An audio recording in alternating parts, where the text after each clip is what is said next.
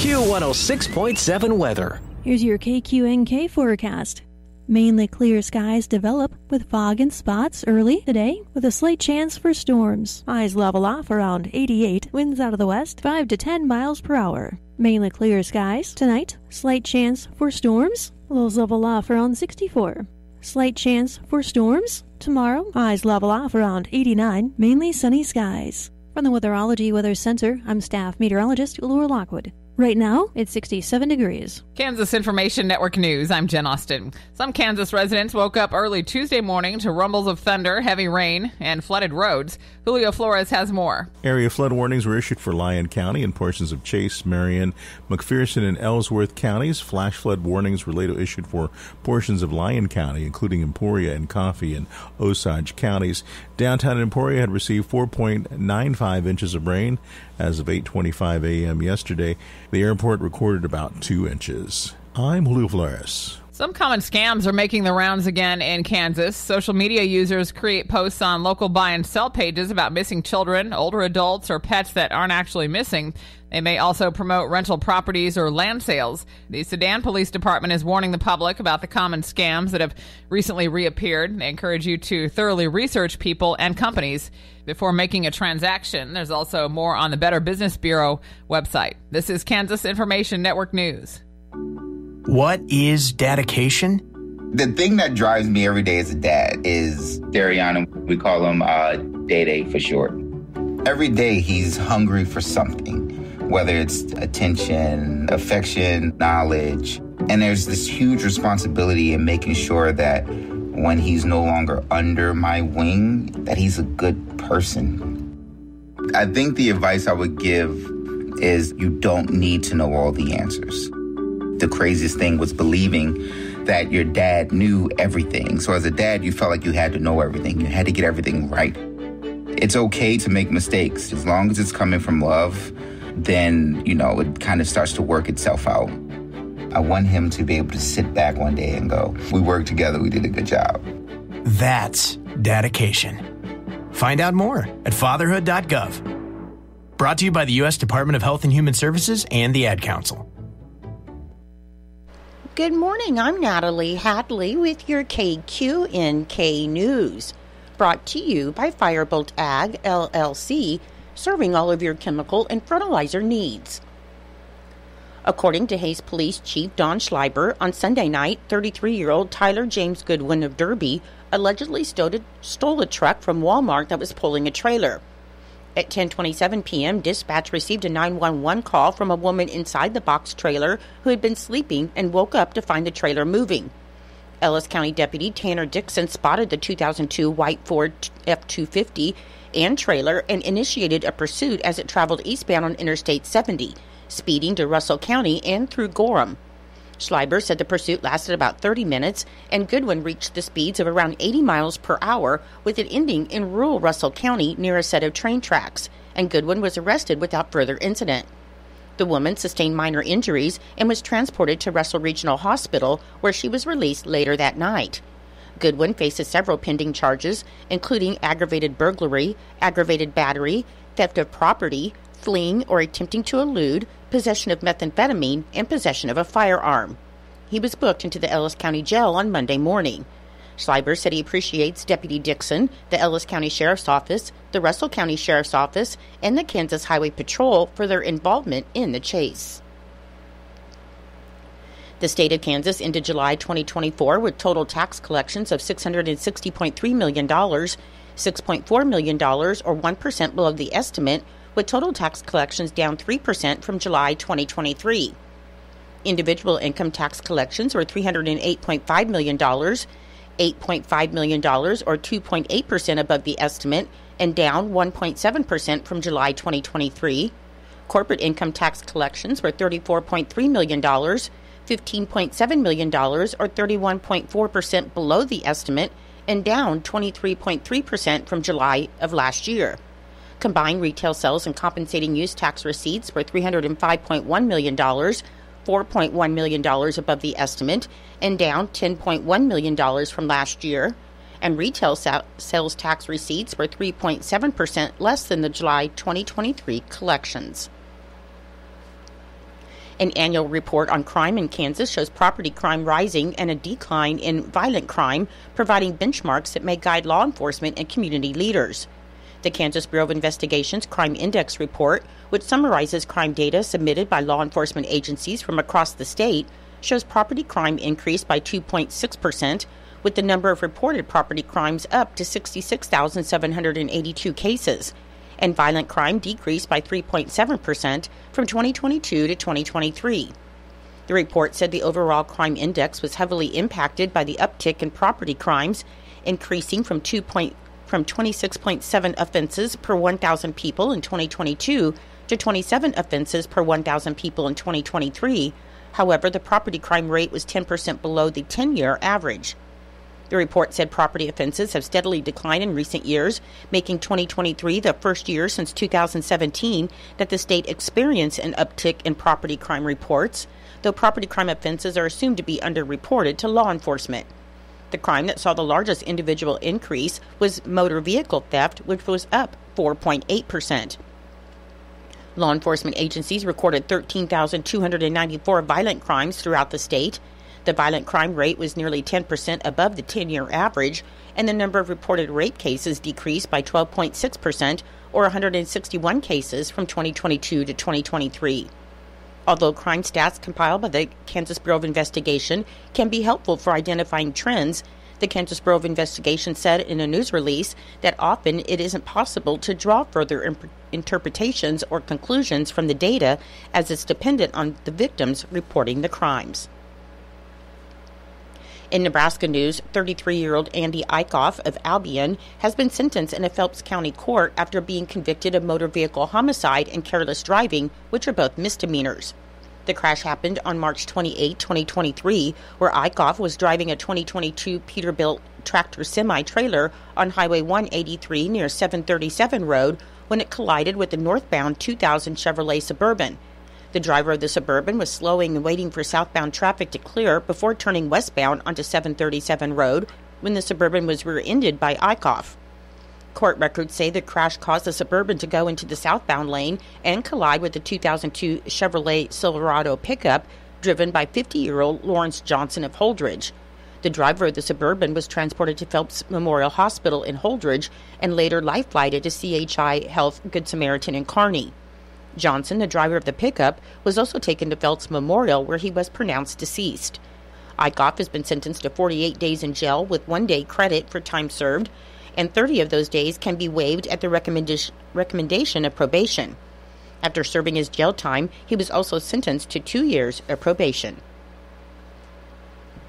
The Nebraska Secretary of State announced on Tuesday that the Paid Sick Leave Initiative petition has been certified for the November 5th general election ballot. The petition gathered more than 97,557 valid signatures from Nebraska voters statewide, exceeding the required 7% threshold. And organizers collected valid signatures from at least 5% of registered voters in 47 counties. The Elections Division instructed county election offices to halt signature verification once the number of valid signatures reached 110,000. 110% of the required amount as stipulated by Nebraska, Nebraska statute. The Secretary of State's office also noted that it received three affidavits from individuals requesting their names be removed from the petition. The initiative would establish a minimum requirement for paid sick leave, allowing workers in Nebraska to earn and use sick time without retaliation. For businesses with fewer than 20 employees, workers could earn up to 40 hours of paid sick time, and for businesses with 20 or more employees, workers could earn up to 56 hours. I'll be back with more in just a moment. Firebolt Ag is a full service fertilizer and chemical retailer. They customize products for individual farmers' needs, with the primary focus being customer profitability. Let Josh and Jack help you get the most out of your farm ground. They also provide in house marketing with Ron Wall of Flatwater Solutions. Visit Ron in Phillipsburg or call Josh at 785 854 8484 or Jack at 308 840 2819. Firebolt Ag, your leader in agriculture. A 16 year old boy was killed and a 24 year old man badly burned in an electrical accident at the Great Bend Airport on Tuesday morning. The Barton County Sheriff's Office reported that the two were working for a roofing company on a hangar near the terminal building in a bucket on an aerial boom when they struck high voltage power lines. The 24 year old got onto the roof and reached the ground. However, the 16 year old was found unresponsive in the bucket. About 30 minutes after the accident, power was shut off and rescue personnel reached the 16 year old. Both victims were taken to the hospital, where the 16 year old Ivan Joel Molins of Wichita was pronounced dead. The Barton County Sheriff's Office is handling the investigation because the accident happened on city property and at a city building.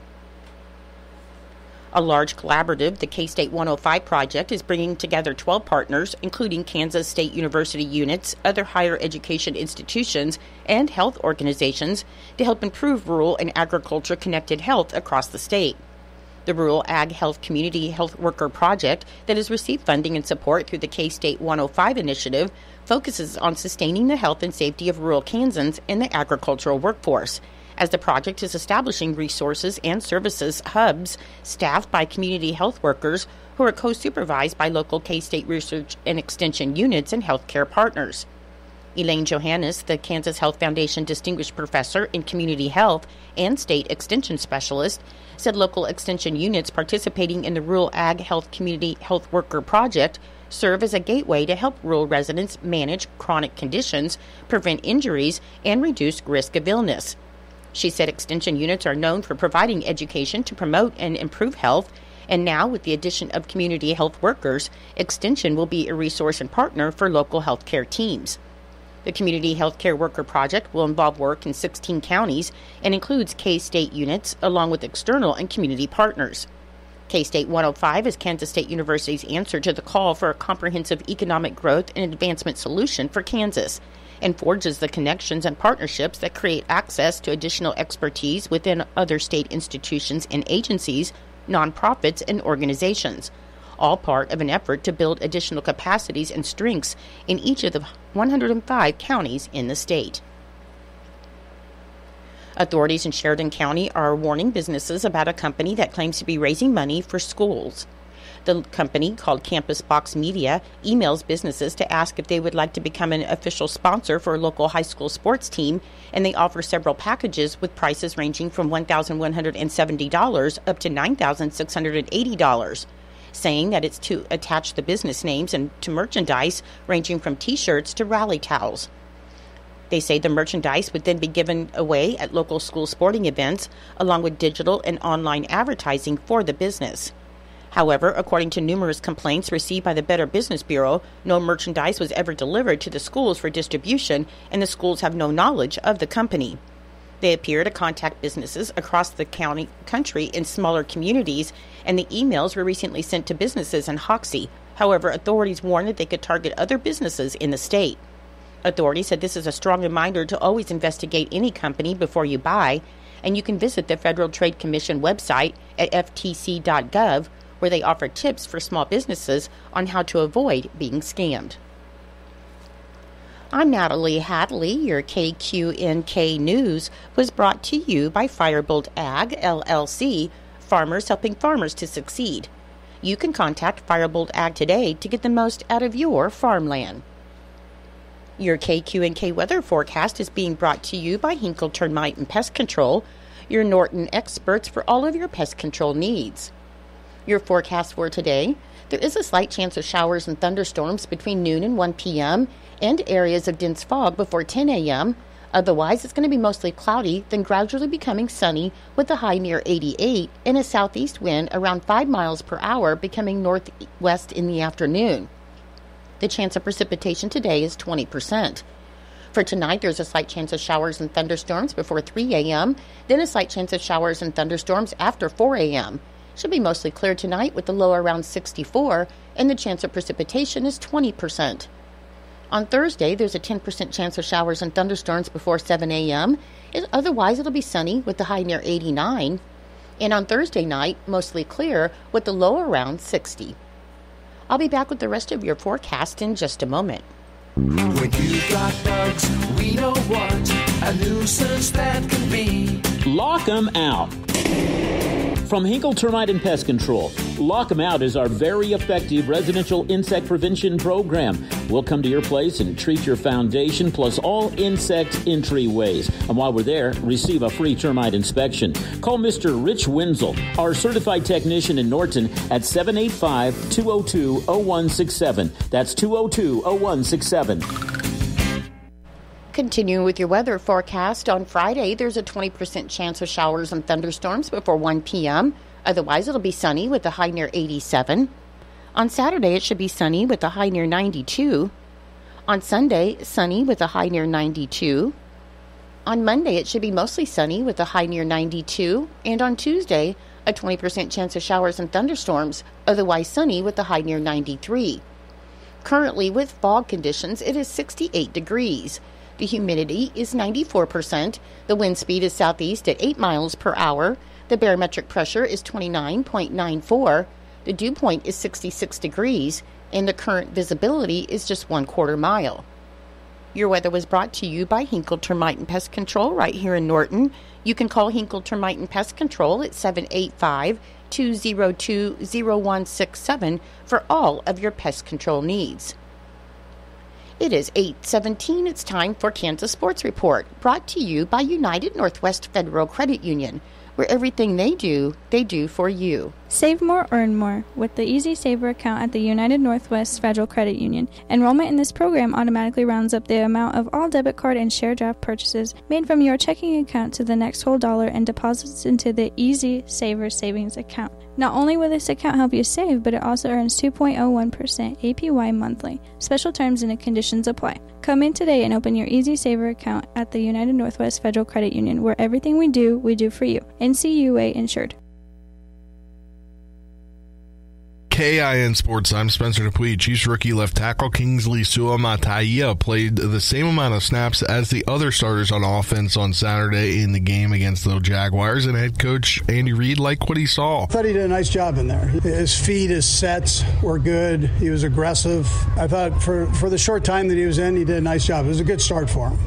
So we'll, um, you know, he's got to obviously build on it the more time he gets and so on. But um, I thought it was a, you know, it was a very productive start. Another player that got to play a bunch was Welsh rugby star Louis Rees Zammit, and Reid was glad LRZ was able to see what an NFL game is like. It was exciting for him to have a chance to get in there and play. It's faster than what he's seen in practice, so I think uh, from an ex- experience standpoint, it was great for him. I, I, think that was a that was a positive, um, and then just build on it. The Chiefs' second preseason game is slated for Saturday at 3 p.m. against the Lions at Arrowhead, Kansas, and Information Network Sports. I'm Spencer Dupuy. Legends are made when a calculated risk pays off. I'm Clint Bowyer, and as a professional NASCAR driver, I pushed the limits and made a living taking risks. But there's one risk that I never take driving without a seatbelt. Life isn't a race, and there are no prizes for getting to the end first. Be a living legend for yourself and for those that you love. Buckle up every time. Brought to you by the Kansas Highway Patrol.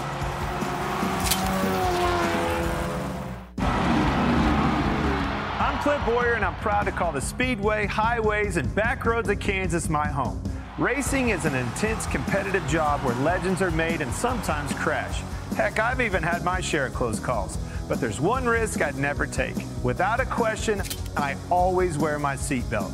Be a living legend for yourself and those that you love. Buckle up every time. Brought to you by the Kansas Highway Patrol. It's true, many of us spend more time thinking about what's for dinner than preparing for retirement. But if you think your retirement needs deserve more attention, I agree, and I'd like to help. I'm Edward Jones financial advisor Philip Eisenhagen. Together we can give your long-term retirement strategy the attention it deserves. Stop by our office at 418 East Home here in Norton or call 877-3373. Edward Jones, Making Sense of Investing, member SIPC.